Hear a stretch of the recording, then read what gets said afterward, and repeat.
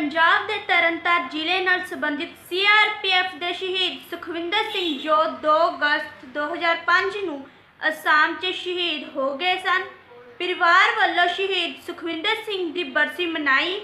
ਇਸ ਮੌਕੇ CRPF ex men welfare association Punjab ਦੇ ਪ੍ਰਧਾਨ ਸੁਲਿੰਦਰ ਸਿੰਘ ਕੰਡੀ ਅਤੇ ਐਸੋਸੀਏਸ਼ਨ ਦੇ ਅਹੁਦੇਦਾਰ ਸ਼ਹੀਦ ਸੁਖਵਿੰਦਰ ਸਿੰਘ ਦੇ ਪਿੰਡ ਪਹੁੰਚੇ। ਅਤੇ ਉਹਨਾਂ ਸ਼ਹੀਦ ਸੁਖਵਿੰਦਰ ਸਿੰਘ ਨੂੰ ਸ਼ਰਧਾਂਜਲੀ ਭੇਟ ਕੀਤੀ।